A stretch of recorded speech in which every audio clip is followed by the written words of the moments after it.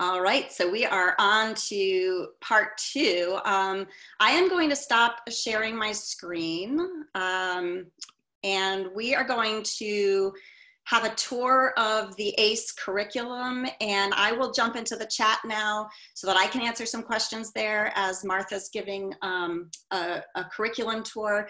The one thing I wanted to say before Martha gets started, which I think she will also talk about, is that uh, even though you're all here live, which is great, and I would suggest coming every Monday morning if you can, um, the course is really built to be asynchronous. Um, first of all, there's lots of teaching lecturers in our course, and lots of you guys have jobs um, through the summer.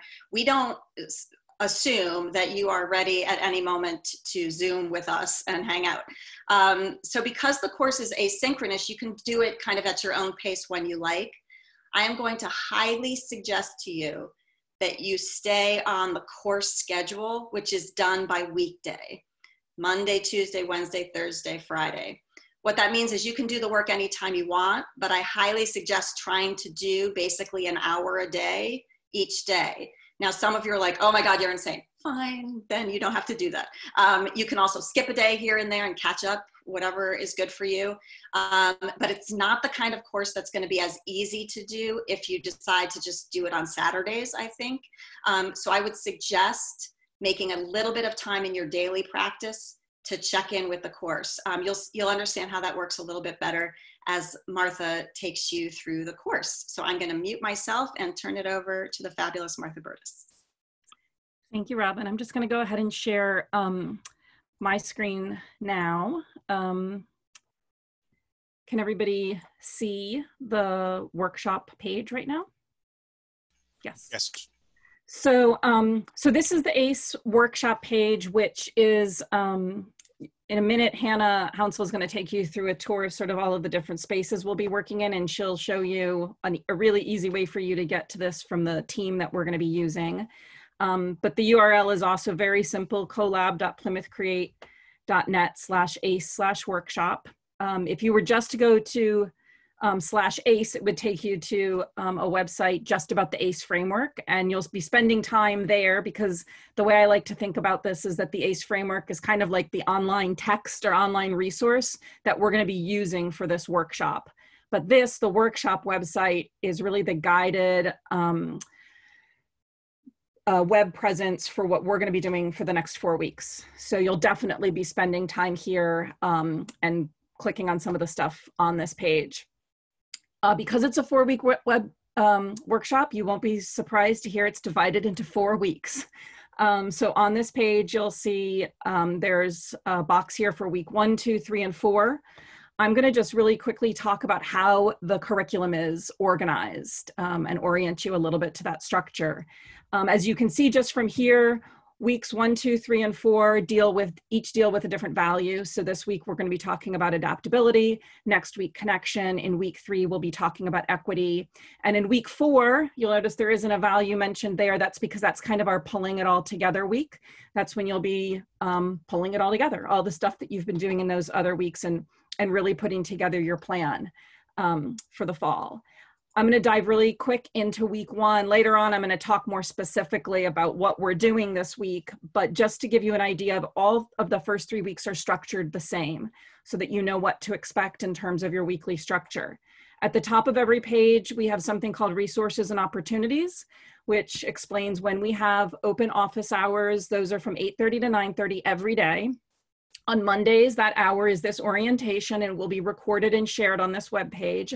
Tuesday through Friday, those are just drop in hours. You can just stop by, talk to one of us. Um, if we have a lot of people and they want to talk about different things, we may break out into different rooms, um, but it's very informal. It will not be recorded.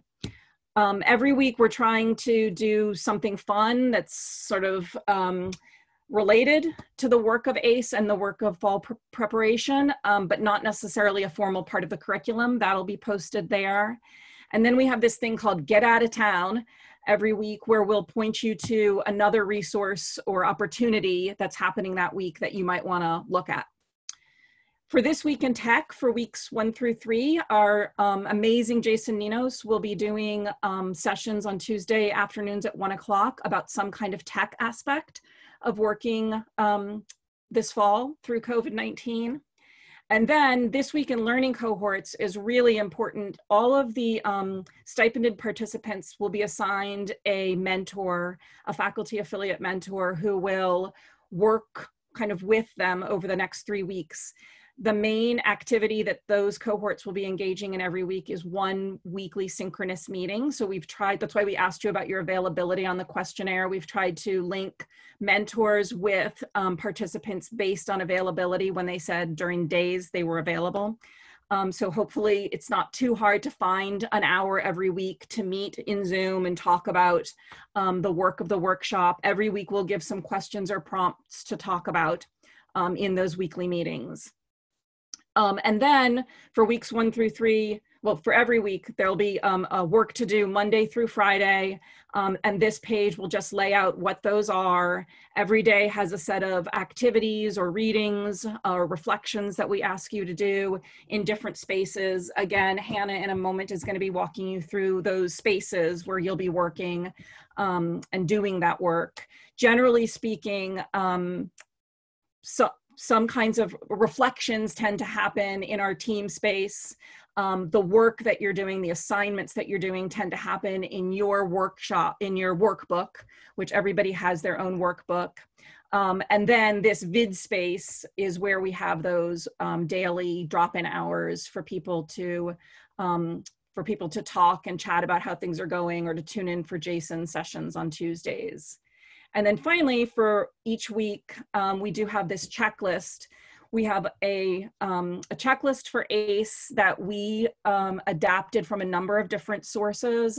Um, one was um, Bowdoin put out a, um, a checklist when we went remote in the spring that was very robust and solid. And so we borrowed some stuff from the Bowdoin checklist. We've also borrowed some stuff to qual from Quality Matters remote learning um, checklist, which is also linked to the larger Quality Matters checklist. If you're not familiar with Quality Matters, they're a national organization um, that works with universities who are interested in moving online.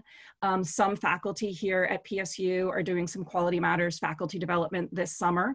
So we wanted to make sure that we tried to align where we could um, the specific work that we're doing in this workshop with the kinds of things you might be hearing in QM um, conversations as well. But this checklist will also guide some of your participation each week. And at the end of um, the workshop, it will be an opportunity, the checklist will provide an opportunity for you to really go through all of your preparations um, to see where you are uh, in terms of being ready for the fall term. And I just want to say one more thing about the um, checklist that if you go to any college in the United States right now, they are all operating with these readiness checklists for online learning related to COVID. So almost every institution has one. They are um, coming, many of them are copied from each other. We did a lot of that, right? We, we mined it.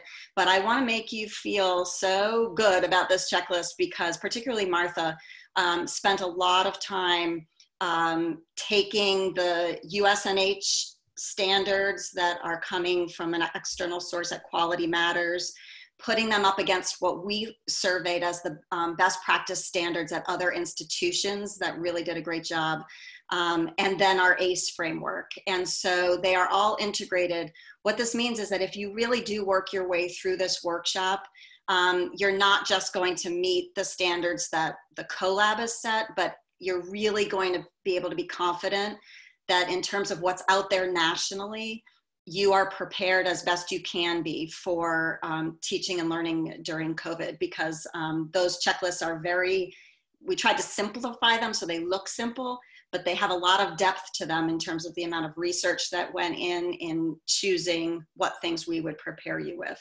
And we tried to take out things um, that were not necessary. So I think you will find um, that that you've that you'll you'll really be well served. Um, okay, Martha, keep going. Um, and then the last thing I just wanted to say about the curriculum, I'm not going to go to week four right now um, because it will probably be a little overwhelming, but I'll just mention, so week four is a little bit different. I, as I said, it's the week where we tie everything together and the activity and the work in week four is four is all about preparing and putting together a document that um, we're calling your guided self-assessment. That for stipended participants um, in that last week instead of meeting for an hour with your cohort um, to talk about how things are going with the workshop. What you'll be doing that week is scheduling half an hour one on one mentor and participant to work through and look at your guided self assessment together um, and identify um, where you're really ready, but also where your gaps may still be um, so that we can help you figure out how to bridge those gaps between the end of this workshop and the beginning of the fall term. Um, so that guided self-assessment is another, in addition to the participant workbook, is another um, sort of resource that you'll, you'll be building, but that work is mostly focused on week four. Um, that's it for kind of the curriculum tour for the workshop. I'm gonna turn it over to Hannah Hounsell and I'm gonna let her give you a tour of the various spaces, particularly technology spaces um, that we'll be working in over the next four weeks. So I'm gonna stop sharing, Hannah, and let you pick it up. Okay. All right. All right, hopefully everybody can see my screen. Um, so one of the, or the biggest place that we're going to be working on is, um, is Teams. That's kind of gonna be the one-stop shop. That's gonna be the one-stop shop for the course. Um, and I just wanted to quickly go over where to find uh, Teams if uh, no one has ever been on Teams before. Um, if you go to your My Plymouth and go to the O365 uh, apps waffle over here and click on Teams, it'll bring you to um, the institution's Teams page. And everybody should be already added to the team. I know we've been working on that over the weekend. Um, so when you go to Teams, it should show up. Um, and I'll show you what that looks like. So this is our um, course teams, the ACE uh, four-week workshop. And when you first come into this Teams, you'll probably see the general channel. Um, this is a good place to start with the tour, so I'll talk about this a little bit.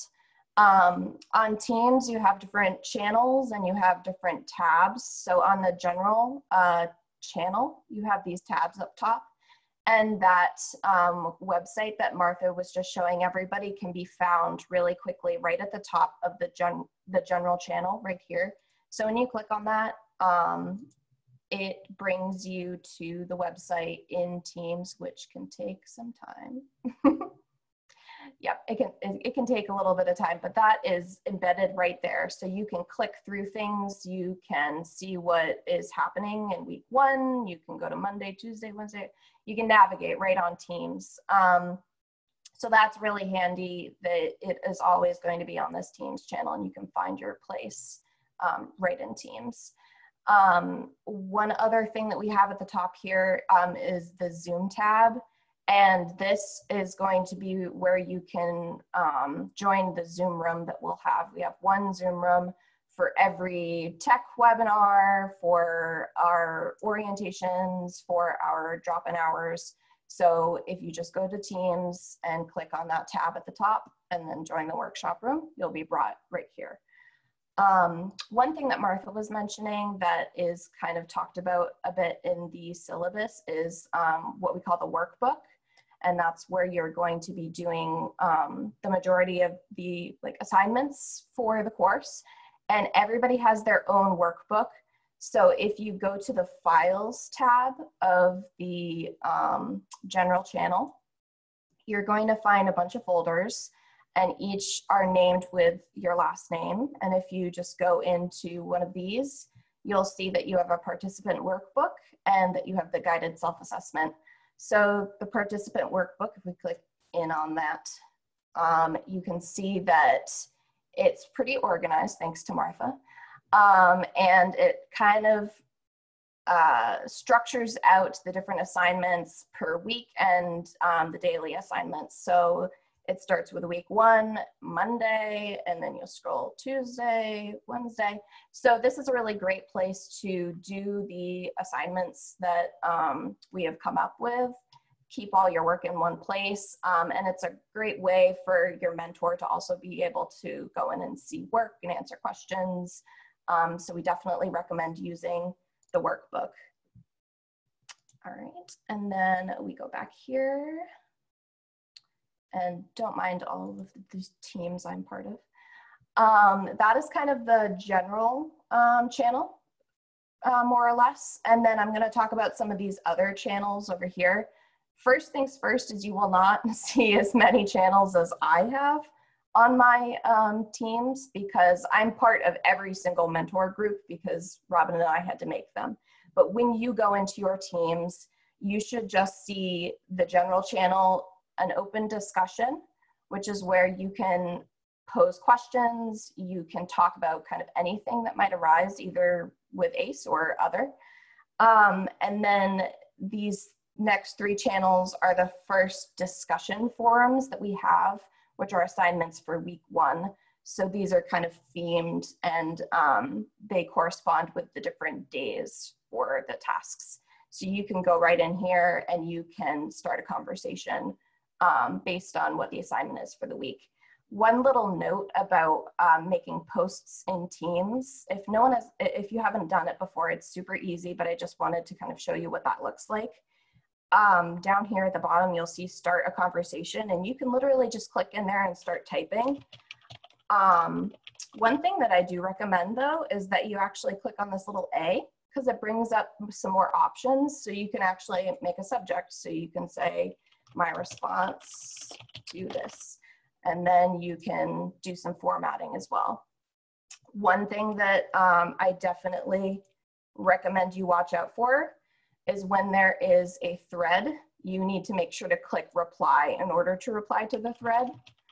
Sometimes um, folks will come down here and reply to a thread and that kind of just gets lost in the ether. Um, so definitely make sure you're pressing reply. One other quick trick is that you can um, at people as well. So at Robin. And then they'll get a notification of your post. Um, so that is the discussion forums. I went over the workbook. Um, is there anything else I'm missing, Robin? Sorry. Okay, so I, I think that's it. But uh, one other thing is I kind of live, breathe, eat, and dream about teams because I'm on it so often. So if anybody has any questions about teams or they're lost in teams, please feel free to reach out to me. Um, I'm happy to actually set up a little appointment where we can kind of like go through teams together one-on-one. Um, but it's a great tool, so. Uh, Lost in Teams is the name of Hannah's upcoming memoir, so I think you should enjoy that. Stay tuned for that. Um, Okay, uh, Hannah will stop uh, sharing her screen and let me just reiterate one thing before I stop this recording and we will get to the very last um, part of today's session.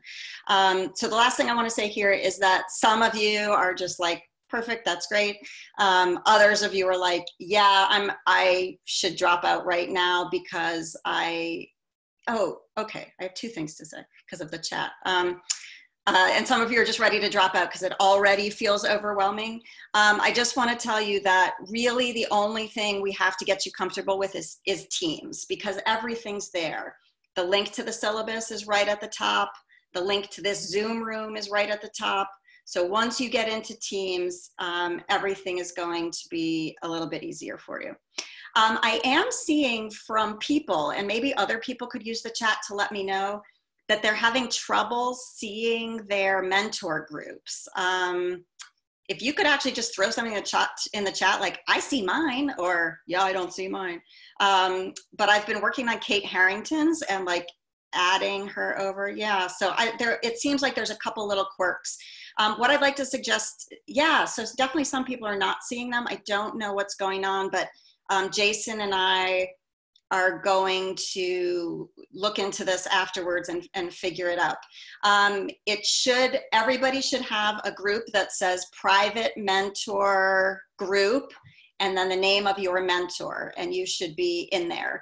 Um, for people who are on unstipended, you have a group that is called, I'm trying to look, your group is called, here we go. I know you're waiting for it. Optional peer-to-peer -peer mentoring um, that's your mentor group. Um, but for those of you who are stipended is, is there. Um, so anyway, I would just say, don't worry about it. Just shoot me an email and we'll make sure that we fix it. But you are, I think, all in there. There's something quirky going on um, because even Kate Harrington, who is a mentor and is the owner of her mentor group, cannot see it. Uh, some people are saying, never mind, I see it. I just didn't look in the right place. So maybe look in the right place. I don't know. Try that as an option. Scroll around, see what you can do. Teams can be a little bit funny, but it should be there. Oh yeah, and Jessie said she needed to reload Teams, so that's another possibility is to refresh because it may be that the last time you were in here, you weren't yet in your group and now you've been assigned. Um, I can also move people around just a little bit. These mentor groups are mostly designed by time compatibility. Um, so it means that you and your mentor and the other people in your groups roughly said you had the same times available because the only required synchronous participation in this course is that you meet uh, three times with your mentor group synchronously. Um, your mentor will be contacting you through that channel um, to set that up. So anyway, yes, there's all sorts of questions in the mentor group. You can see who else is in your group um, just to make sure that you're not with people that you hate, you know, like the mean girls, if they're in your group, we have to move you. Um, you'll have to go in to look at the uh, channel membership. So uh, look around a little bit, but don't hesitate to get in touch. We'll, we'll make it work for you. So with that, I am also going to um, stop recording briefly.